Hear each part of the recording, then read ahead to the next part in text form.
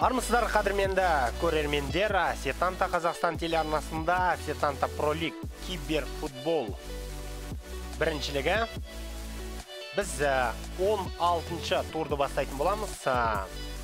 Біздің чемпионатта екінші айналым басталады және бұл өте бір қызықты күн болғалы тұр өйткені 16-шы турда чемпионаттың лидерлері олжас есентаев пен елжан амангелді арасындағы кездесу болады. Ал оның артында интер мен ювентус елдар құлшыманов пен кирилл ивановтың арасындағы кездесумен бұл жарыстың алғашқы күнін ашатын боламыз. Бүгін сіздермен бірге төрт матчты тамашалаймыз. Ертеңгі күнге тағы да төрт кездесу белгіленген.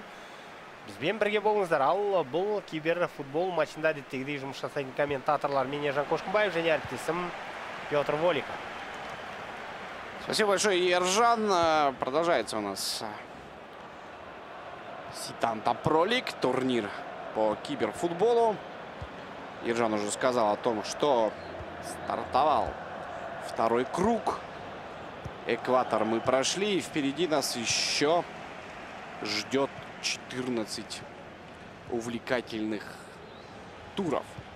Сегодня Эльдар Кучманов против Кирилла Иванова открывают этот игровой день представителей Петропавловска и Усть-Каменогорска. Фаворитом этой встречи, как по мне, является Эльдар Кульчманов. Вот он и в атаке. 1-0 уже на шестой минуте встречи. Шикарная комбинация. Абсолютно забыли о том, что Кондрева подключился к атаке. Ильдар Кучманов все это прекрасно видел, отдал на него. И голкипер Ювентуса, который на ваших э, только что был экранах, Войцех Честный, пропускает этот удар от Кандревы. Сегодня у нас гранды итальянского футбола. Интер сейчас, конечно, до гранда немного не дотягивает, если говорить о реальном футболе. Но я думаю, что совсем скоро Интер вернет себе былую славу. Но в любом случае, как в реальном футболе, каким бы ни был миланский Интер, матч Ювентус-Интер всегда очень интересен всем болельщикам футбола. Ну и так получилось, что в нашем киберфутболе Кирилл Иванов и Ильдар Кучманов тоже могут выдать очень интересный матч. Дебала здорово как на замахе убрал Кирилл Иванов. Пробил Паула Дебала с левой ноги. И только если бы только не Самир Ханданович, счет бы уже был равным. Угловой зарабатывает Кирилл Иванов. Мы видим радость после этого сейва Самира Хандановича. Примерно так же Ильдар Кучманов отреагировал, я уверен, Дуглас Коста. Подает штрафную. Снова Ханданович выходит, кулаками выбивает. Пьянич. Матюиди. Остается мяч у Кирилла Иванова. Блес Матюиди. Финтит. Пас назад. Снова Матюиди. Квадрадо. И Кондрева прибежал на этот левый фланг. Помог своей обороне. Жоу Канцело. Галярдини. Можно давать туда на фланг. Вот сейчас через Шкринера все же мяч до Сантона дошел. Гальярдини. Брозович. Икарди. Эдар. Перешич. Иван Перешич очень опасен. Даже на рейтинге 85. Сантон. Ждет Ильдар Кульчманов. Когда кто же откроется, где появится пространство для атаки. Жоо Канцело. Подавать не стал. Низом решил прострелить. И все правильно сделал Даль Кульчманов. Потому что 19 минута игры. Счет уже становится 2-0 в пользу киберспортсмена из Петропавловска. Смотрим, как Жоао Канцело на замахе убирает. Не стал подавать, прострелил в штрафную. Там мяч от кого-то из э, защиты Ювентус отлетает э, к Антонио Кандрева, который записывает на свой счет уже два мяча. Шестая, восемнадцатая минута, 2-0. Впереди Ильдар Кучман. Елдар құлшыманов бұл матчта бас фаворит саналған болатын және алғашқы 20 минуттықтың қорытындысы бойынша ол бұл болжамда нақтылай түсуде. Екіден нөл есебімен алда келе жатыр. Ал өскемендік кириллдің тарапынан біз әзірге сәтті шабуыл көре алмаудамыз. Қазір оның командасы алғы шепте. Квадрадо оң қанатпен. Қақпаның алдына доп асырылды бірақ ханданович өз орнында. Пьянич лихштайнер бенатия лихштайнер Блес Матюидиге пас қалдырған. Блес қазір Дибалаға. Дибаланың соққысы. Қорғаушылар өздерін алды бұл допта. Квадрадо. Тағы бір шабуылға шығатын болады. Әрине Кирилл қазір жағдайдың қиын екендігін жақсы білуде. Және бірінші тайм аяқталғанша ең құрмаса есеп айырмасын қысқартуға тырысуда. Пианичтің соққысы. Міне енді ғана елдердің командасы допталды. Жоау Кансело, Раннокия, оң қанатпен Кандрева, Кандрева оң қанатпен әлі де болса допты жалғастыруда. Жүргізуді Икардиға берді. Брозович, Галиардини. Иә көріп отырсаңыздар елдердің шабуылы көзге көрініп тұрады. Тамаша ұйымдастырылған шабуыл соңына дейін жеткізуге азақ қалды. Маура икардидің соққысы бірақ бұл жерде қорғаушылардың бірі мехди бенатия допты аяғымен қайтарып тастаған екен. Қазір жуау кансело допты бұрыштан ойынға қосатын болады. Ал елдардың негізгі мақсаты әрине бұл матчтың шешімін кейінге қалдырмай тез арада өз жеңісін өз үстемдігін айқындап қою болып табылады. Сонымен не болды? Айбаланға доп асырылды. Қақпаға бағытталған соққы галиардини қазір үшінші голдың авторы атануға аз ғана қалды. Өкінішке орай доп қақпадан қиыс кетті. Галиардинидің өкінішінде шек жоқ. Войцех шесни допты ойынға қосатын болады қазір. Және кирилл иванов кезекті шабуылға шықпақшы. Пьянич оң қанатқа пас лихштайнер сантон перишич қайтадан интер командасы қарымта шабуылға шықты. Перишич доппен. Галиардини. Икарди. Икардидің алдыға берген пасы бірақ доп жолда қарсыластың ойыншысына тиіп барып бағытын өзгертіп кетті.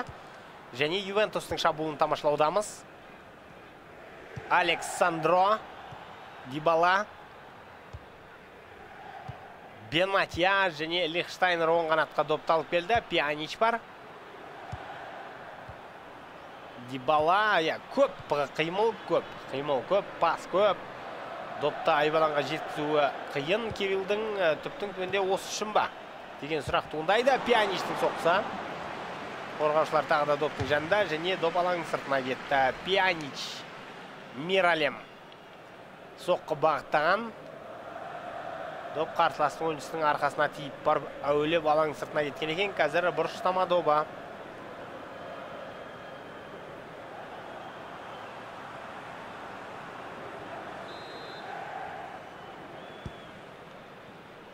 дуглас коста. Александроға. Және осы жерде ойын тоқтатылды. Тәртіп бұзылды. Ювентус командасы қазір тура қақпаға қарама қарсы жерден. Шамамен 28-29 метрден айып соққысын орындайтын болады. Доптың жанында көріп отырғандарыңыздай паула дибала квадрадо бастаған жігіттерді қояды. Мүмкін олардың бастарына доп асыру да ғажап емес қой. Меніңше бірақ дибала тікелей қақпаға соққы бағыттайтын секілді. Жоқ квадрадо келді дуглас коста доптың жанына келді. Дибала жерлете дибала өзі қақпаға соққы бағыттады. Тағы да қорғаушыларға тиді. Икарди. Қарымта шабуылды бастады. Жылдамдығын арттыруда. Бірақ икардидің жылдамдығы лихштайнермен салыстыруға келмейді екен александро пьянич пьянич доппен. Және сол қанатқа пас александроға.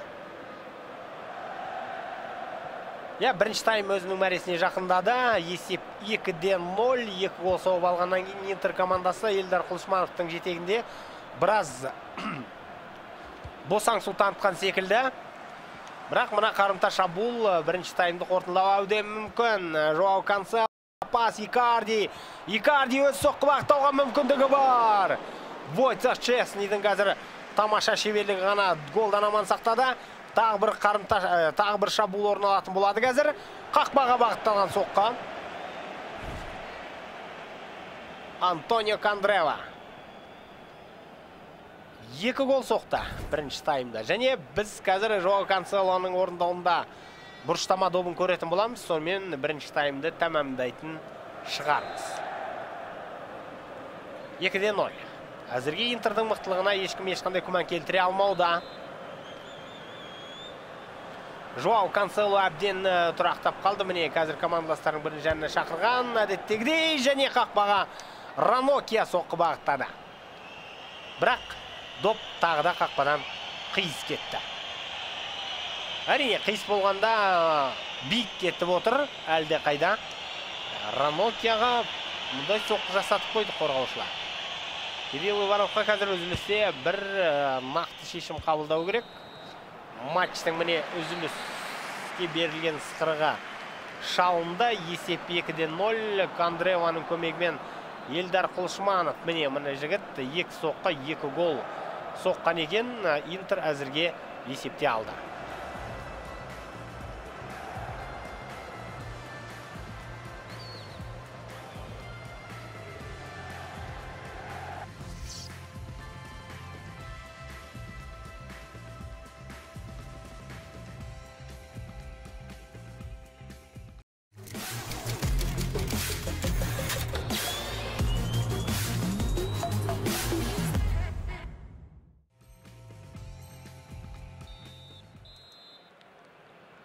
Продолжается у нас второй тайм между Ильдаром Кульчмановым и Кириллом Ивановым. Счет после первого тайма 2-0. Ильдар Кульчманов полностью владеет преимуществом по ходу встречи. Ну, по крайней мере, в первом тайме. Кирилл Иванов изредка только тревожил Ильдара Кучманова. И то после пропущенного первого гола. Брозович входит в штрафную. Это должно быть 3-0. Честный не позволяет увеличить разрыв в счете Ильдару Кульчманову. Квадрадо. Пьянич, Матюиди, Кирилл Иванов рвется вперед. Игуаин. Снова Матюиди, Пауло Дибала. И Ян Карамо отбирает этот мяч. Вот Кирилл Иванов, я говорил в программе Ситанта про Лик Ревью о том, что Кирилл Иванов гроза комитетов. Все мы помним, как Кирилл Иванов смог обыграть Лжаса и Синтаева со счетом 2-1. В прошлом туре Кирилл Иванов просто невероятную борьбу навязал. А тут 2-1. Пауло Дибала. Вот так вот. Пас в разрез. И Кирилл Иванов делает счет 2-1. Точнее, делает этот счет 2-1 Пауло Дибала. Но управляет им Кирилл Иванов. Пока я рассказывал о достижениях Кирилла, Пауло Дибала смог один мяч отыграть. Ну так вот, Кирилл Иванов в прошлом туре очень не давался Ильжану Манкильды. С трудом Ельжан смог забить один. И на этом силы Ельжана Манкильды, видимо, закончились. Потому что Кирилл Иванов, не знаю, либо наши два фаворита подходят к матчу Кирилла Иванова с недооценкой какой-то. Либо, я не знаю, либо Кирилл Иванов как-то настраивается очень серьезно именно на лидеров, потому что вот Ильдар Кучманов, который да, во второй половине турнирной таблицы находится, если не ошибаюсь, да простит меня Ильдар Кучманов, сейчас я точно в, этим, в этом убежусь. Нет, в первой все-таки находится Ильдар Кучманов. В первой восьмерке. Ну, на восьмом месте идет Ильдар, в принципе, да.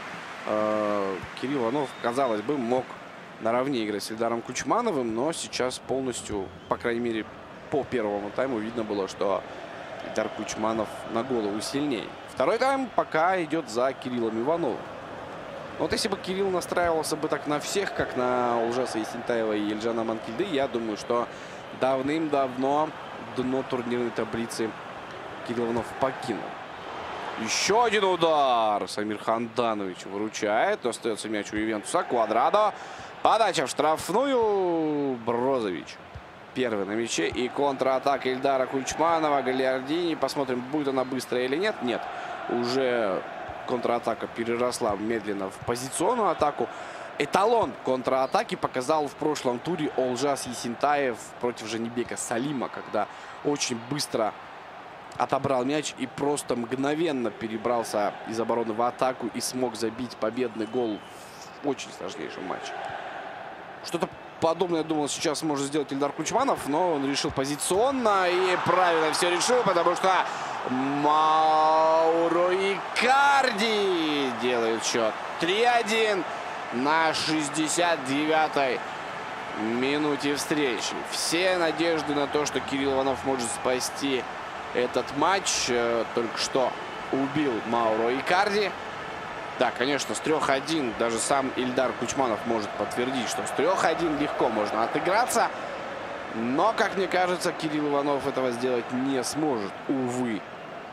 Ну а сам Ильдар Кучманов в прошлом туре сделал невероятнейший камбэк.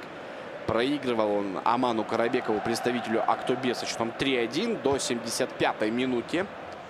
Ну а потом Ильдар Кучманов как будто бы выпил какой-то эликсир для игры FIFA 18 и смог не просто выровнять, а победить в этом матче 4-3. Ильдар Кучманов на 90-й залетел четвертый гол. И 3 очка Ильдар Кучманов заработал. Проигрывая, еще раз повторюсь, к 75-й минуте 3-1. Карамо рвется по флангу. Там в штрафной вроде есть Иван Перишич, да. Вот сейчас до Ивана Перишича почти мяч дошел, но Вовремя спохватились э, защитники Ювентуса. Этот мяч выбили. 75-я минута встречи. 3-1 впереди Ильдар Кульчман. Жоо Кансело рвется по флангу. Пас назад. Здесь Матюди первый в мяче. Коста. және гонсало игуаин қазір допталды пианич есеп үште бір жаңа ювентус бір доппен есе қайтарған болатын алайда артынша интер өз жауабын берді. Матч аяқталатын сәтке жақындады дуглас коста әйтсе де әлі де болса матч сақтап қалатын мүмкіндік бар. Мұны кирилл иванов өте жақсы түсінеді. Және қолынан келгенді аямайды. Бірақ елдардың орындаушылық шеберлігі өте мықты екендігін білеміз. Шабуыл жасауға мүмкіндік бермеуде. Брозович. Карамо алдыға берген пас өтпеді. Қақпашы войцех честный қазір. Сол қанатқа доп тасырған болатын. Дуглас коста дәл қабылдады. Игуаин матюиди квадрадо дибала. Дибаланың пасы тағы да өтпей қалды. Міне осындай сарынмен өтіп жатқан матч өзінің мәресіне жетуге жақындады. Перишич лихштайнер тартып алды перишичтен допты қартаймайтын швейцариялық қазір игуаин матюиди Гонсало тағы да Матюиди. Квадрадо Матюиди және қақпаға бағытталған керемет соққы. Дуглас Коста допты ойынға қалдырды. Тағы бір соққы бағыттауға мүмкіндік бар. Шкриньяр қазір баспен қорғаныста өте жақсы ойын көрсетіп, командасының қарымта шабуылын бастап берді. Сол қанатқа пас, бірақ Иван Перишич бұл допқа қанша секірсе де жете алмайтын еді. иә ювентус сапында өзгерістер орын алуда манджукич алаңға шығатын секілді кирилл иванов бұл ретте көп созбақтап тұрмады жоқ перишич кетті андреа пинамонти алаңға кірді өткен турда пинамонти өте көп гол соққан болатын. Ал біз юве сапындағы өзгерістерді қазір міне манжукиш игуайнның орнына маркизио матюидидің квадраданың орнына бернардески кірген екен қосымша минуттарда.